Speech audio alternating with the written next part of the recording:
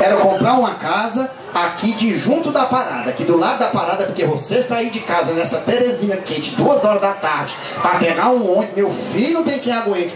Eu digo, minha senhora, nós estamos falando de 20 milhões de reais. A senhora ainda está pensando em comprar uma casa para pegar um ônibus aqui perto da parada.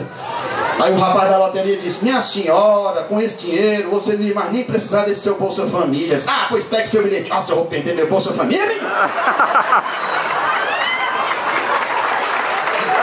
Ah, se pra lá. Perder meu Bolsa Família, não é doido?